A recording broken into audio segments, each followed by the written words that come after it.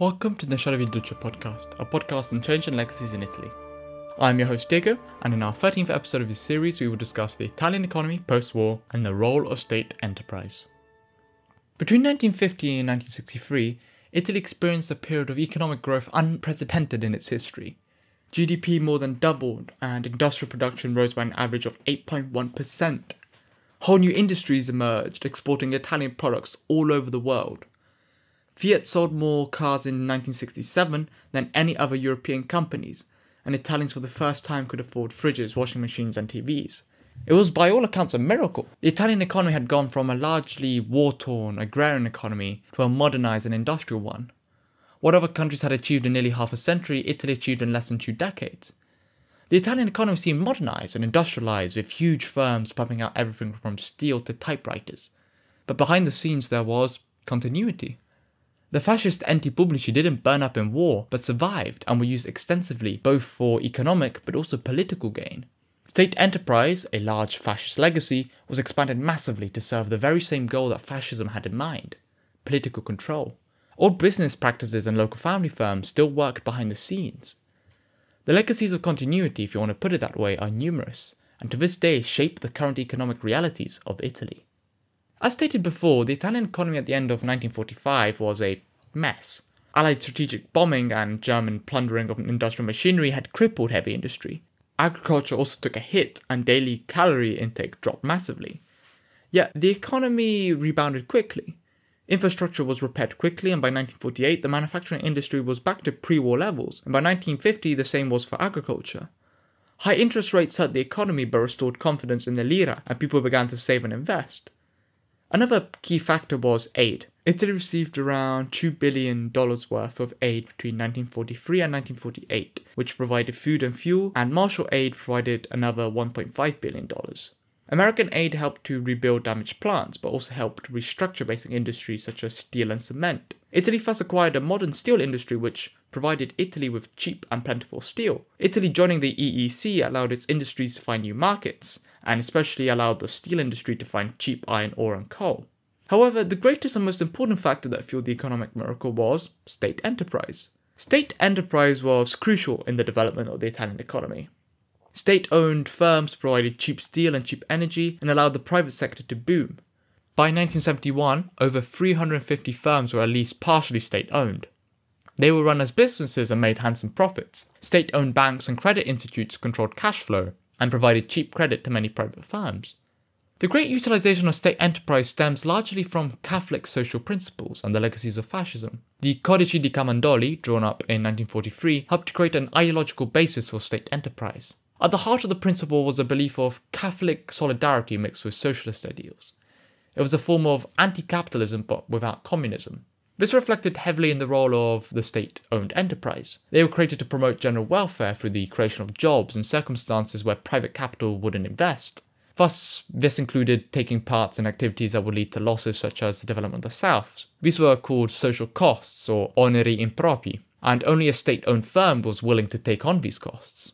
However, these codici did not create a state apparatus but rather dictated how to use it, because the instruments of state intervention already existed. One of the greatest legacies of fascism are the over 300 enti that were created during the 30s to achieve political control of the economy. Many survived the war and became crucial in developing the economy. What also survived was the leadership. Managers under fascism controlled and shaped the upcoming miracle, a clear sign of continuity in the Italian economy. The enti helped to kickstart the Italian economy at a time where private investment was very low, the Liberal Party and most industrialists had lost a lot of legitimacy and money due to fascism, meaning that they were unable to invest. They were also incapable of posing any shifts to state intervention. Thus, the very same entity created by the fascists survived and were actually expanded. They helped Italy rapidly industrialize. The two most famous and important of these firms were IRI and ENI. Now, IRI, we talked about a couple episodes ago, played a crucial role in post war Italy. It was under the control of the Council of Ministers and helped develop Italian heavy industry. Like under fascism, IRI dominated huge areas of the economy from car and engine manufacturing to banks. Its subsidiary, Finsider, which makes steel, held over 50% of the capital stock in the steel industry by 1951. Finsider's steel investment program helped modernize the steel industry alongside American aid and increased steel production by 70% from 1948 to 1953. However, IRI's greatest contribution to the Italian economy was through infrastructure. It was decided in 1955 that the construction operation of the autostrade or motorways would be given to IRI. By the 1970s, Italy would have the second largest motorway system in Europe, and a previously geographically disunited country was unified. Where motorways existed, industrial plants soon followed. Along the Autostrada del Sole, or the A1, which runs from Milan to Naples, over 600 new industries opened up. Thus, IRI played a very key role in supporting the steel industry and building up not only the road network, but through derived demand, the car industry. IRI made sure Italy would become a nation of car lovers. However, IRI was eclipsed in importance by a certain company that also born under fascism, Eni. Eni, or the Enti Nazionale Idrocarburanti, was the state owned energy company that became an economic powerhouse in the 50s and 60s, having a tremendous economic, cultural, and political impact. Its origins lays in the fascist AGIP, founded in 1927 to find oil and gas during Mussolini's autarkic push. Eni played a very important role in shaping the modern look of the country. Large pipelines, refineries, and petrol stations all created symbols of modernization and industrialization.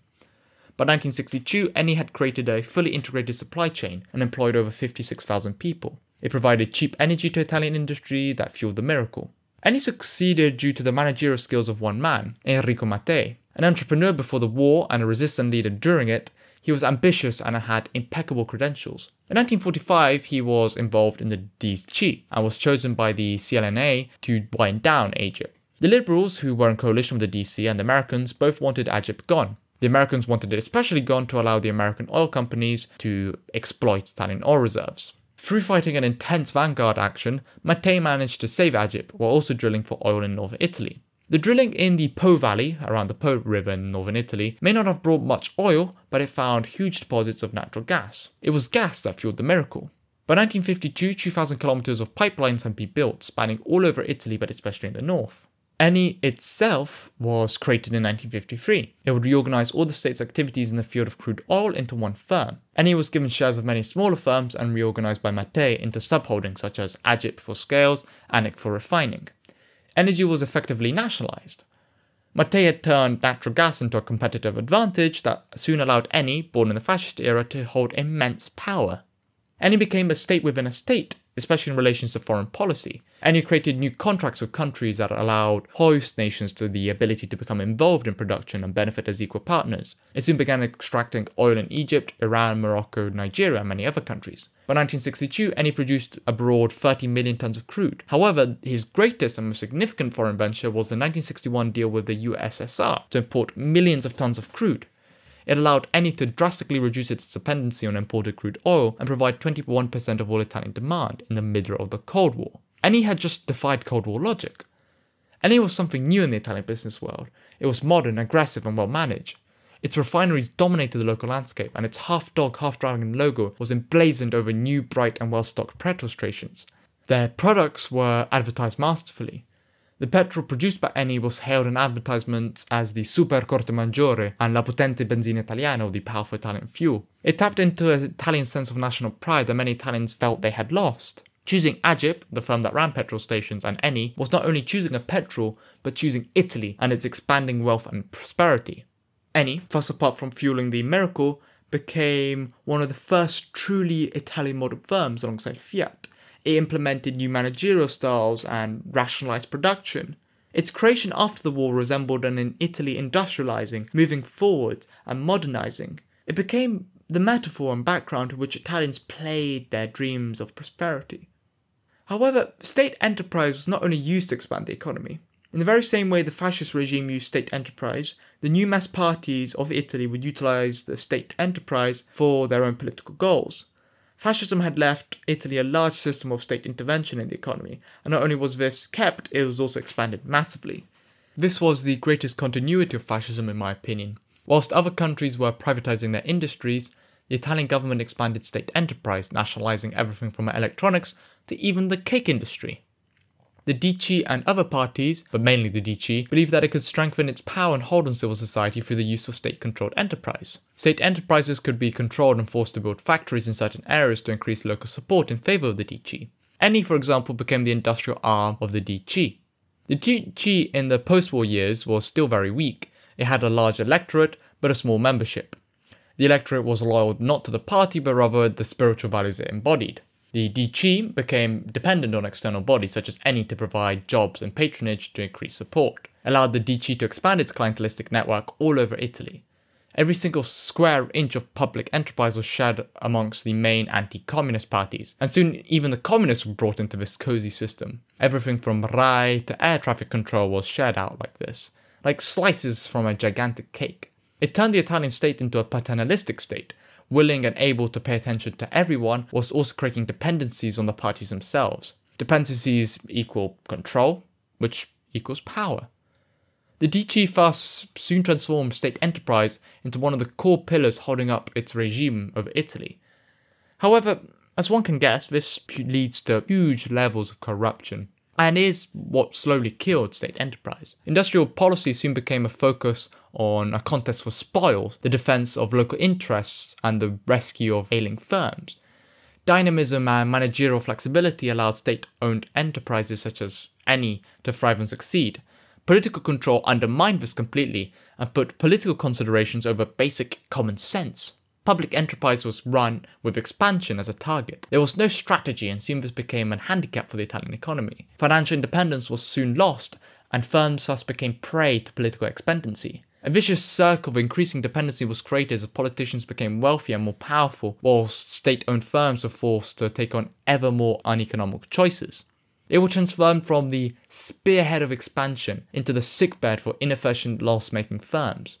The DC could not allow any large or medium sized firm to go bankrupt without threatening its support. Thus, state owned firms, and especially the successful ones such as ENI, were forced to take on these failing industries. ENI, for example, was forced to take on the smoking ruins of the Italian textile industry, that in the long run helped to nearly bankrupt the company. IRI reported a 2 trillion lire loss in 1980, as it was forced to take on Italian shipbuilding at a time when Italian shipbuilding was very uncompetitive. Steelworks were built and other expanded at the same time when Western Europe was experiencing extremely low steel prices. Political control had replaced common sense with clientelism and corruption. Its legacies left Italy economically weaker and with a strong and continuing legacy of corruption. State corporations were key to industrialization and modernization and helped Italy finally achieve the status of a modern industrialized economy, but the firms themselves fell prey to the same old push for political control. Old fascist doctrines were used and led to serious consequences. Italy had industrialized, but had it developed? This question is best represented by the attempts to industrialize the South. The South remained one of Italy's biggest economic problems. In 1951, Southern income per head was at £90 per year, and 25% of Southerners were illiterate. Unemployment was sky high at around 50% in some areas. It had many features of an undeveloped country, yet made up 40% of national territory and had over 17 million people. Something had to be done, and the answer was a massive state intervention program called La Cassa per il Mezzogiorno, or the Special Fund for the South. It was a fund that's focused on everything from agriculture to steel.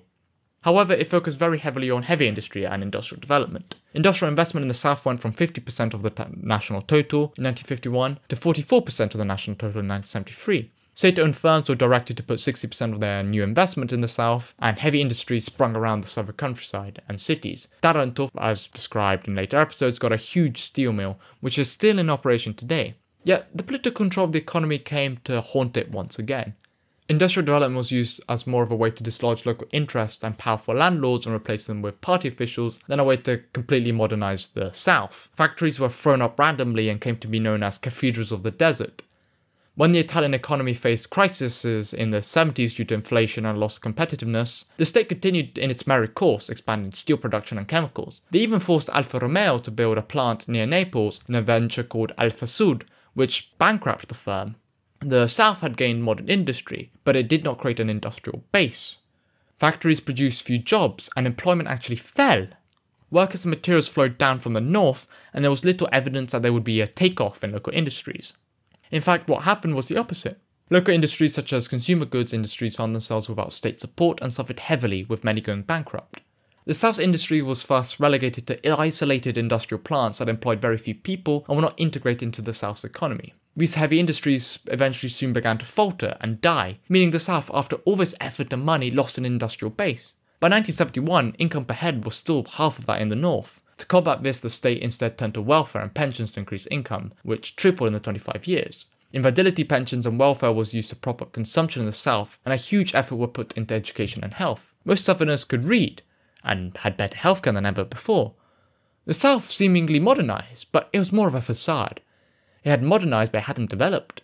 It had all the traits of a developed country with high consumption and good health care, but it had the industrial and governmental base of an undeveloped country. The South went from an agrarian economy straight to a post industrial society without properly industrializing first, meaning to this day the South remains undeveloped compared to the rest of Italy.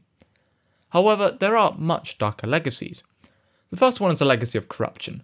The heavy focus on welfare led to the creation of an administrative economy with public resources being in the hands of a few leading politicians. This led to the creation of a new class that acted as a mediator in a patron client distribution system and perpetrated large amounts of corruption in order to gain electoral support. The other legacy is organized crime, the mafia. In a society with a weak industrial base and in an economy dominated by politics where the flows of funds to support consumption is the only form of public intervention, Organized crime quickly became one of the instruments of regulation and distribution. Local industrial projects, especially failed ones, were soon hijacked by organized crime. This is clearly seen in Gioia Tauro. In the 1970s, construction began on a steel mill, a coal power plant, and a harbour to supply both of them. The local environment was devastated, but the furnaces remained empty. The port, however, was completed and was soon infiltrated by the 'Ndrangheta, who turned it into one of the major entry points into Europe for cocaine. Funds destined for earthquake victims and reconstruction were diverted to local crime bosses, who not only became wealthy, but also in some places protected by local party bosses, such as in Sicily. The mafia could get voters out. The South is a perfect example of what political control of an economy can do, and the trails of legacies it leaves behind. Italy might have industrialized, but large areas of the countries were left behind, undeveloped, and forgotten. There was also continuity in the business practices. The model of large corporations failed to truly latch onto Italy. Whilst Italy tried very hard in the 1560s to adopt a modern and American model of corporation, this had limited success. The Italian economy produced few successful large firms. Most firms encountered difficult problems of inadequate management, such as the Italian chemical industry, which expanded too quickly and got itself in a lot of debt. As much as Italy industrialized, the model of big corporation did not fit Italy well. Behind the scenes, business traditions and family firms continued to exist and thrive. In Italy, firms actually got smaller since the 1950s. Weak investment, labour militancy, and an undeveloped stock market meant that large corporations were rare and less supported by the state. In Italy, 23% of firms have 1 to 9 workers, while only 3% of American firms have the same amount of workers. While state enterprise floundered, small family firms boomed. Italian capitalism, instead of supposedly modernizing and following the American model, became a large scale niche capitalism based on strong craft traditions. Small firms became world leaders in very niche products such as a certain bolt or machine.